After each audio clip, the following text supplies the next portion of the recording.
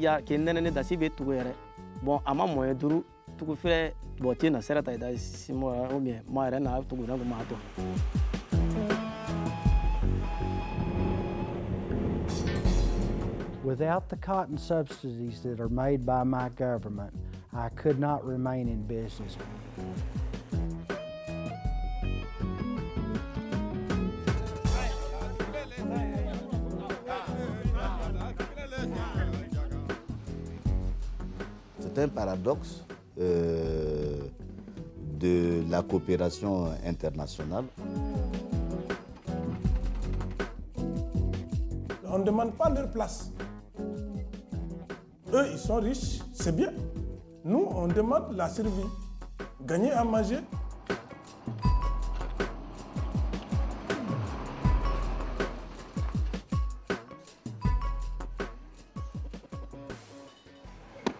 Det her, det er globaliseringen. Det er CD-afspillere fra Kina. Det er tøj fra Thailand. Det er appelsiner fra Sydafrika. Det er vin fra Argentina.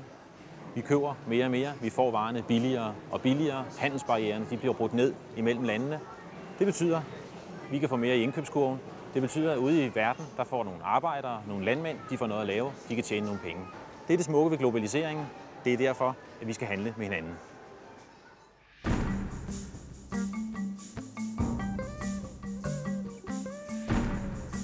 Solen står op over Ouagadougou, hovedstaden i det vestafrikanske land Burkina Faso. For de fleste af byens indbyggere begynder endnu en dag og endnu en kamp for at skaffe penge til mad og medicin, tøj og andre fornødenheder. Her i byen er intet for småt til at kunne sælges og måske give nogle få kroner i overskud.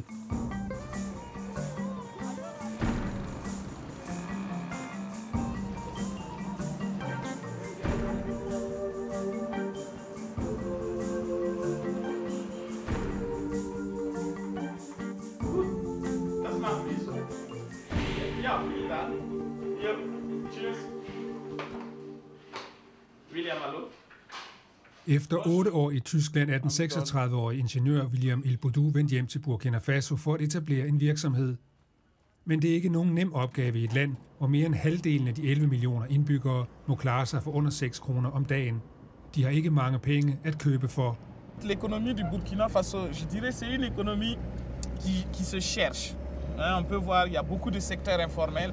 On voit ici les fruits, ça c'est ce qu'on a beaucoup au Burkina Faso. Et tout un peu un petit mélange de choses qui pourraient marcher et qui ne trouvent pas leur chemin vraiment pour le moment. Mais bon, je pense que c'est un peu ça toutes les économies africaines. Burkina Faso vil gerne deltage mere aktivt i verdenshandlen, men det kræver store forandringer, både i Burkina Faso og i de rige lande, der med tolvbarriere og støtteordninger udkonkurrerer udviklingslandene.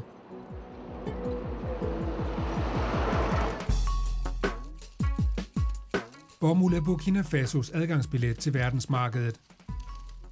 Bomulden er allerede Burkina Fasos vigtigste eksportvare og kan vokse sig endnu større, hvis de rige lande stopper tilskuddene til deres bomuldsproducenter. Sibiri Sanu dyrker bomuld ligesom millioner af andre vestafrikanere. Sammen med sin bror har han en lille mark på 3,5 hektar.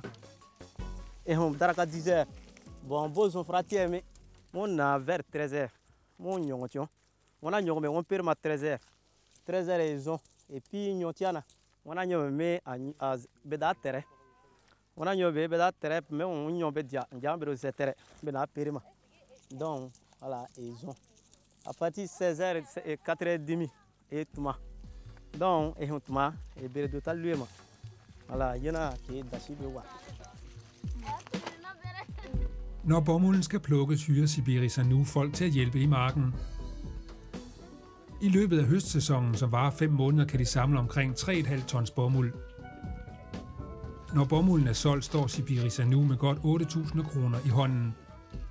Indtægterne fra bomulden holder liv i hans egen og mange andre familier i landsbyen. bon école école ta école zodan bon ma ma parce que mɛ za yɛrɛ ci ma yɛrɛ dasi tɛ mɛ wɔ dasi tɛ matériel na ɲayiri na e wotoro ti mana yɛrɛ na n piyama ka tigi wotoro ti n tɛ san gbɛrɛ ke dasi ta bon ke da an de do tuhu nyane kena to kena do gbana wa ne pere bu pere so kena do me bu pere bon ke autour bi besu bon on do pas dasi tout ha voilà Ada je clair. Voilà.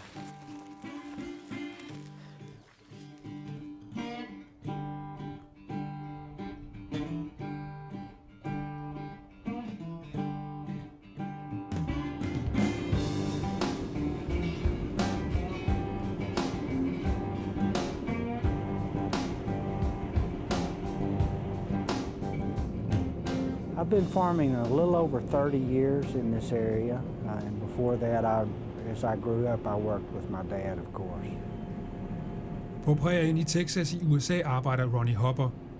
Ligesom Sibiri Sanu fra Burkina Faso lever han af at dyrke bomuld. We probably have around 4,000 acres, counting the grassland that we have uh, for summer pasture for our cattle. We have around 2,000 acres planted to cotton, uh, six to 800 acres of wheat. It's hard work, obviously. Any agricultural activity is, is hard work, but it's a very rewarding experience, uh, especially in the years that it's profitable.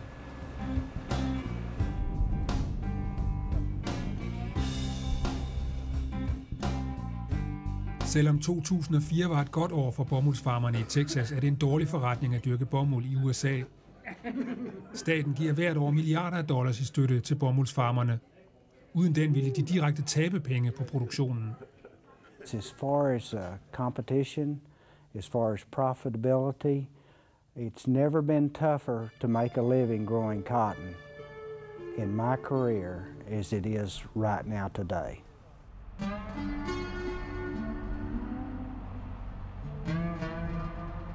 Bomuldsplanten dyrkes i mere end 80 lande verden over. 70 af dem er udviklingslande.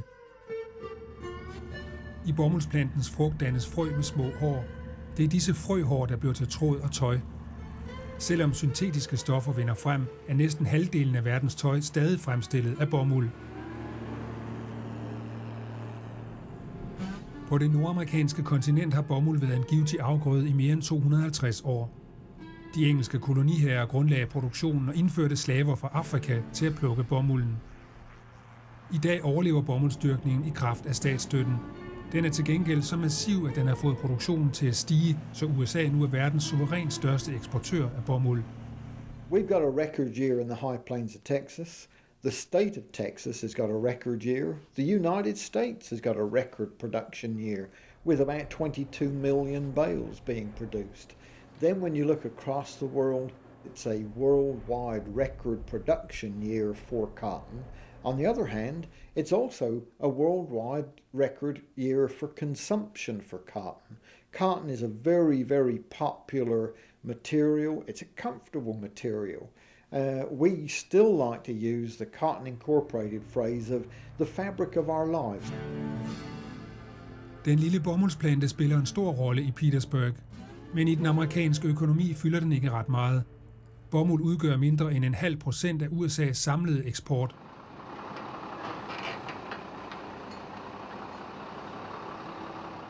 I Burkina Faso er dyrkning af bomuld en forholdsvis ny ting. I de seneste 25 år har både bistand og private investeringer været med til at opbygge bomuldsproduktionen.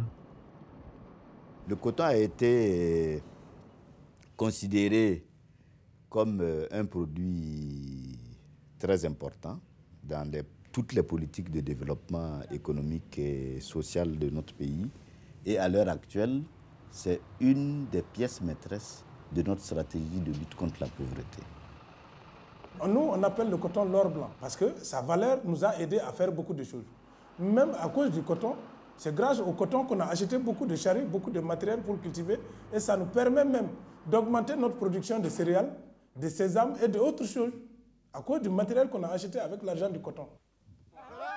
Med bistand og investeringer har de rige lande været med til at gøre Burkina Faso og andre vestafrikanske lande til vigtige spillere på det internationale bomuldsmarked. I dag kan Burkina Faso fremstille bomuld til det halve af, hvad det koster i USA, og kvaliteten er bedre. Burkina Fasos samlede eksport er på godt 2 milliarder kroner om året.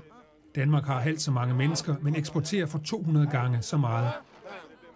Bomuld udgør i dag hele 60 procent af Burkina Fasos samlede eksportindtægter. Bomuld er grundlaget for landets og mange burkiners økonomi. Un paysan cotonnier permet de vivre à peu près une dizaine de personnes. Nous avons aujourd'hui euh, environ 200 000 ménages, ce qui veut dire au moins 2 millions de personnes vivent très directement de la production du coton. Bon, dasi huma na ntie kyon. Bon, famille. Bon, on dirait ana bere we gberna. Beto gberna na hamanti. Gberna manti on. Peut-être gbere gbere konta yere bon ina fo bo ton be frenti. Wa manti gberna. E mal malu fane kama bene ba gberna.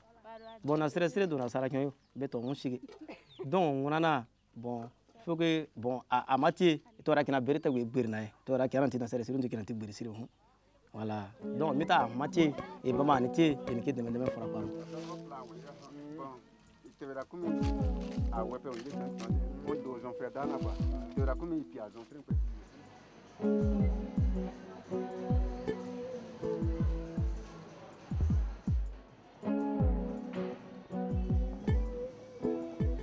Teorierne om international handel blev grundlagt for ja, snart 200 år siden, og nu er vi så i det 21. århundrede.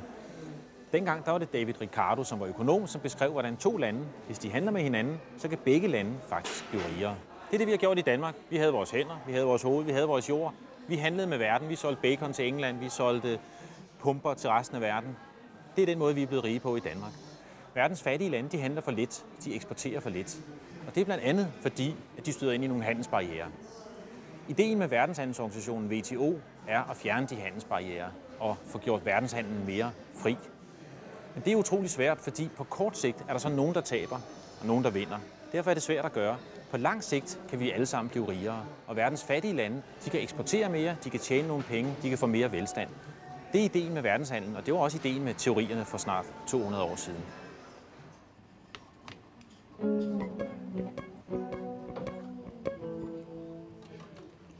So.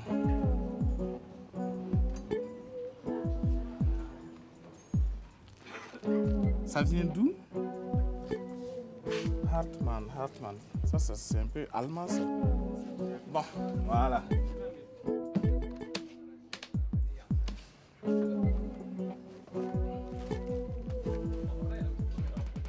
Som mange andre udviklingslande har Burkina Faso en beskeden udenrigshandel. Dertil kommer, at eksporten næsten udelukkende består af råvarer. Det er svært at få gang i en lokal industri. Derfor kommer også de varer, landet selv kunne fremstille fra udlandet, og det er. Et là, le champion, ça c'est le coton. bon, le coton, le Burkina en produit en pagaille. Et malheureusement, notre coton transformé. Et là, c'est pas une grande transformation. Hein. C'est du coton qui est peigné et chauffé. On n'est même pas capable de le faire ici. Ça vient de l'Allemagne. Eh, incroyable. On amène le coton là-bas et on le ramène ici. Et 100 grammes coûte 1040. Imaginons, toute cette valeur ajoutée est perdue pour le pays. Et c'est ça. I Burkina Faso er bomuldsbønderne gået sammen i en organisation, der minder om en andelsbevægelse. Den sikrer bønderne en aftalt pris på deres bomuld og såsæd og gødning til fordelagtige priser. Indsamlingen af bomuldshøsten er langsomlig, men godt organiseret. Fra markerne bliver bomulden transporteret på kære til opsamlingssteder, hvor det vejes. Alt bliver omhyggeligt noteret, så bunden ikke bliver snydt for sine godt 2 kroner per kilo. Le Burkinabé, c'est un travailleur. Dans la sous-région ici, le Burkina, le Burkinabé, c'est un travailleur. Et s'il y a 10 travailleurs, ils ont 10 problèmes similaires. Moi, j'ai été président d'un groupe depuis 80. Ça fait 18 ans pour être président national. Donc l'organisation, ce n'est pas aujourd'hui. Nous, nous avons compris que l'organisation, c'est important pour un développement. Arbejdskraften er billig i Burkina Faso. En bomuldsarbejder får godt 5 kroner for en hel dags arbejde, og al bomuld plukkes i hånden. Derfor er den også af en langt bedre kvalitet end den bomuld, der er høstet med maskiner. Hele 98 procent af al bomuld høstet i Burkina Faso er første sortering. Der er flere bomuldsfabrikker i Burkina Faso. De fleste ejes af Sofitex, en stor tekstilvirksomhed, der i fællesskab ejes af et fransk firma, den burkinske stat og bomuldsbønderne. I høstsæsonen kører lastbiler i pendulfart mellem opsamlingsstederne og fabrikkerne. I Bobo Dioulasso i det sydvestlige Burkina Faso har Sofitex et par fabrikker. Den nyeste er bygget i 1989. Den kan behandle 400 tons bomuld om dagen. Det er fuldt på højde med de mest effektive fabrikker andre steder i verden. Aux usines qui se trouvent dans les pays développés. Cette usine est moderne parce que tout, derni- tout dernièrement, on a acquis des nouveaux nettoyeurs fibres qui sont pratiquement de la dernière génération. C'est des machines qu'on installe aux États-Unis présentement, qui sont de la dernière génération de Continental. Également, on a acquis une presse qui est également une presse de la dernière génération fabriquée par Continental. Et ça, ça pousse un peu loin le niveau d'automatisme.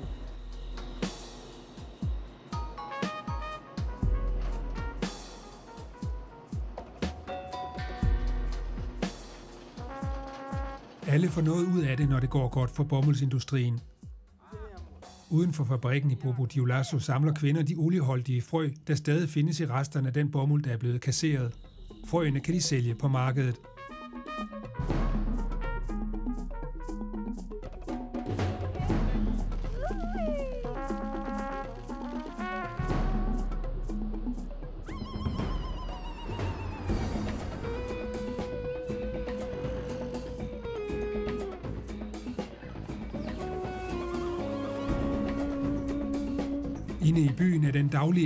Barometer på forholdene i den internationale bomuldsindustri. Når høsten har været god og prisen i orden, så trives handlen.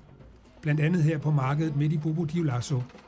Omvendt kan det straks mærkes, når verdensmarkedsprisen på bomuld går ned.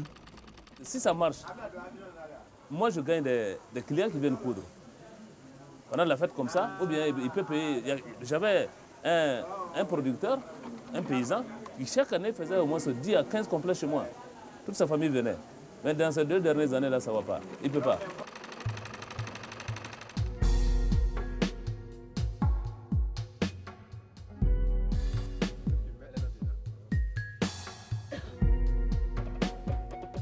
Der bliver knoklet på bomuldsmarkerne i Burkina Faso. Siden 1990 er produktionen af bomuld vokset fra 150.000 tons til 400.000 tons i 2003. Bonjour, on reprend. Men landet får ikke det fulde udbytte af sin råvare. Voilà, maintenant ici on est dans une boutique qui vend des tissus. Il y en a beaucoup un peu à, Ouaga. Et là c'est une boutique qui est dans un, quartier résidentiel. Et donc euh, ici on regarde les tissus. On a des tissus de partout, qui viennent de partout. Euh, on a des tissus de la Côte d'Ivoire.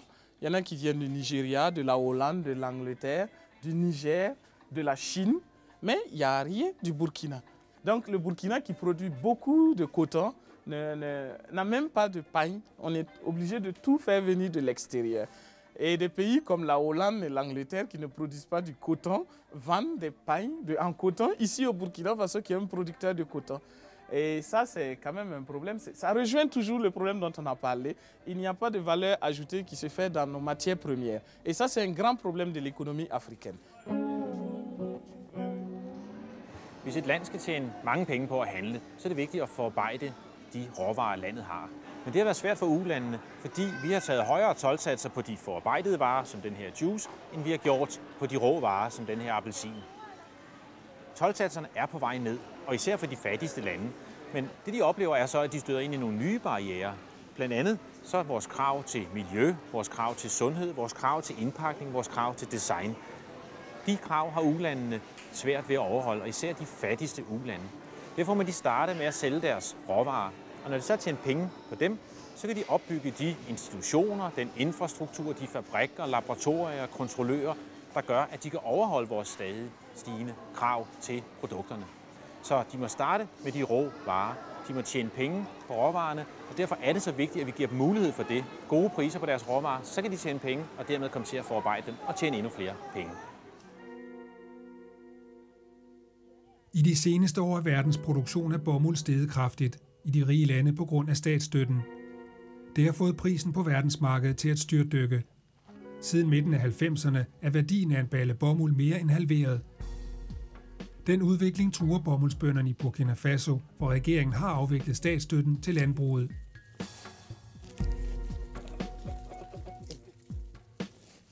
Hos bomuldsbønderne i det vestlige Afrika rækker pengene efterhånden kun til det allermest nødvendige.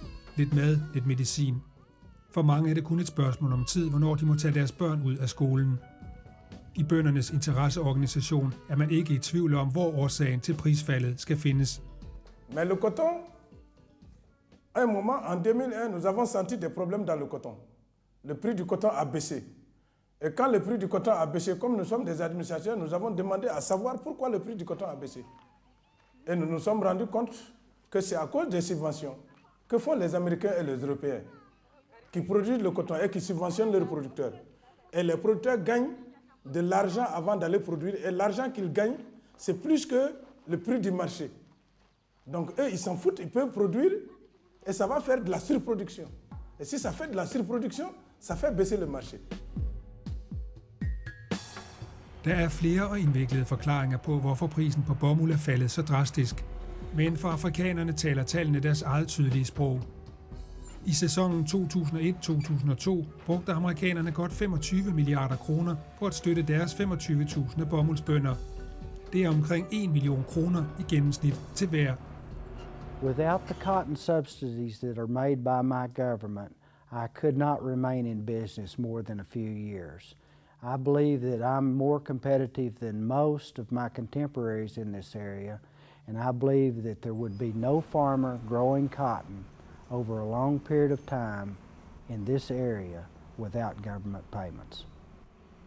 One way that I choose to say it is the farm program payments that I receive from the U.S. government allow me to sell the crop for less than it costs me to produce it. It's very strange, but uh, we're becoming accustomed to it. Med statspenge i ryggen, garanterede mindstepriser og bonusordninger, har de amerikanske bomuldsbønder været i stand til at øge produktionen markant. Verdensmarkedet er blevet oversvømmet med bomuld, og priserne er faldet yderligere. Også EU giver massiv støtte til bomuldsbønder i Grækenland og Spanien. Siden de to lande kom i EU, er deres produktion steget med 7% om året på grund af støtten. Nu har afrikanerne fået nok.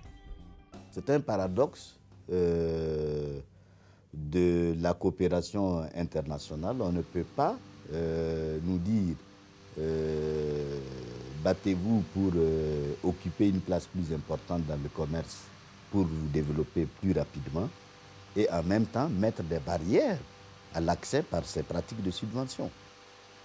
Cela reviendrait simplement à interdire toute possibilité de se développer à nos pays.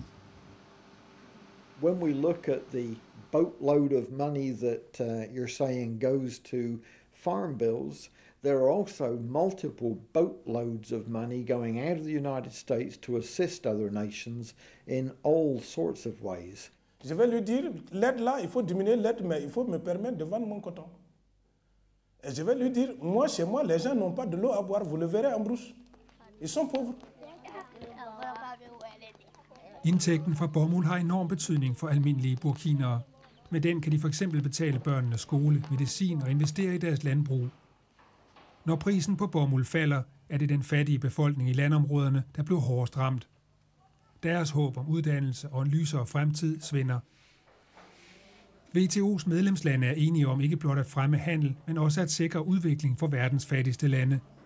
Alligevel har de rige lande fundet smuthuller i de komplicerede regler for international handel, og på den måde undgået at reducere støtten til deres landbrug. Bon, évidemment, le coton est un cas particulier parce que c'est un seul, un des rares produits où des pays pauvres, euh, avec peu de moyens, où les paysans triment pour survivre. C'est un des rares cas où nous sommes en compétition directe avec les pays les plus puissants au monde. The American government has been supporting American agriculture since 1938 with the original Farm Bill, the Agricultural Adjustment Act.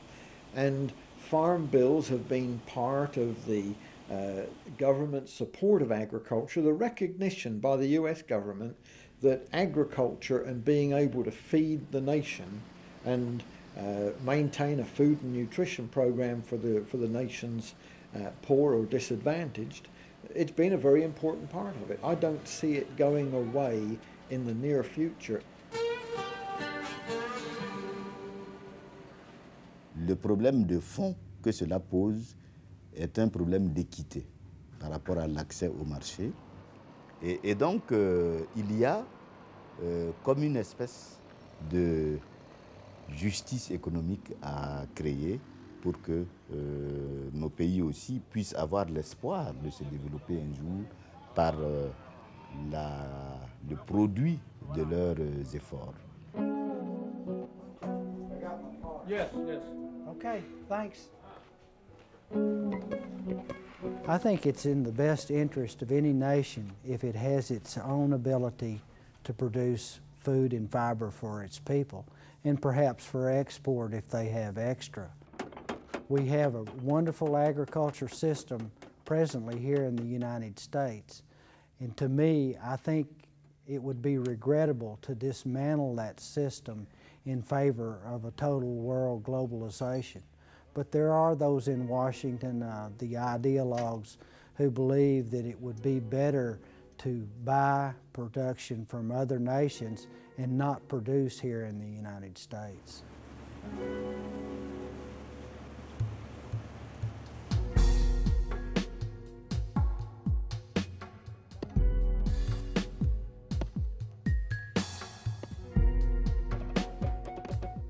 Statsstøtten til de amerikanske bomuldsavlere er konkurrenceforvridende og i strid med internationale handelsregler. Det fastslog WTO's handelsdomstol i april 2004. Dommen er en sejr for de mange afrikanske lande, der er afhængige af indtægter fra bomuld, og som føler sig presset ud af markedet af deres amerikanske kolleger. Men på trods af afgørelsen og de mange erklæringer om fri og færre handel, fortsætter de rige lande deres støtte.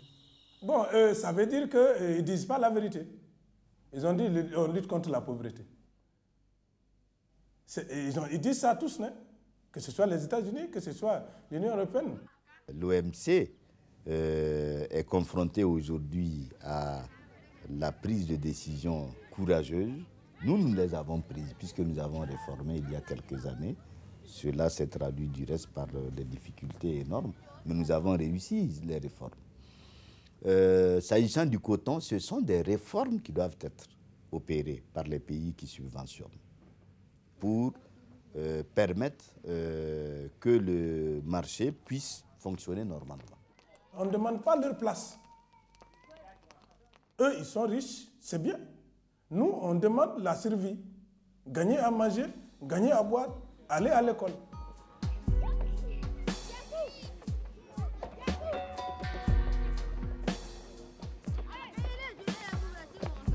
Euh, si l'OMC n'était pas capable de régler ce genre de questions pour lesquelles il a été fondé, euh, cela poserait un problème très sérieux.